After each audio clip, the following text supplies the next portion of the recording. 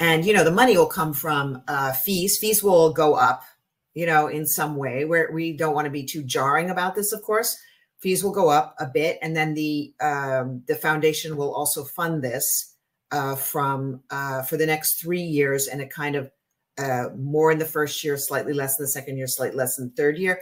And so we hope that with the network activity, as you said earlier, we'll, we'll get the scale to make this thing uh, work properly.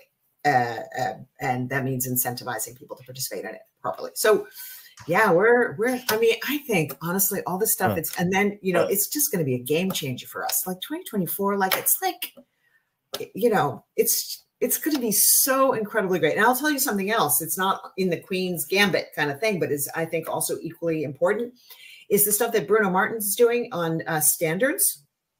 You know, so we made, um, I think, some mistakes early on. Uh, we had a team of like the greatest cryptographers, you know, um, um, Tal Rabin, Shai Halevi, right? Hugo. These guys are just like, and in fact, they got poached from us to, by Amazon at like for a gazillion dollars. The whole group of them, whoop, poached. You know, um, to do by Amazon, to, anything, by Amazon, by yeah, not to do like oh.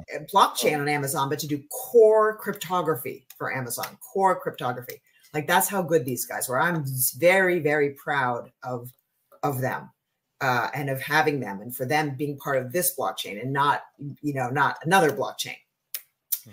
But they were uh, also purists, you know? And so if the standard that every other wallet used and every other blockchain, you every other, you know, uh, ecosystem has 24 passwords and they're like, eh, yeah, but you know, 25 is better than 24.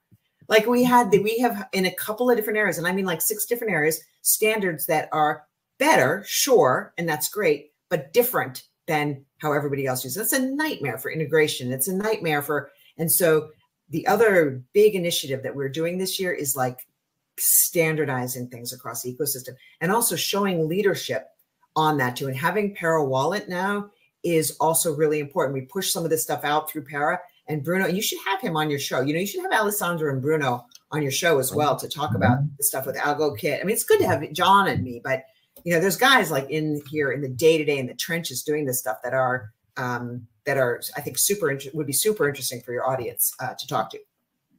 So that's the other thing that I'm I'm also pretty excited about in the tech roadmap uh, part. Well, all of that sounds great.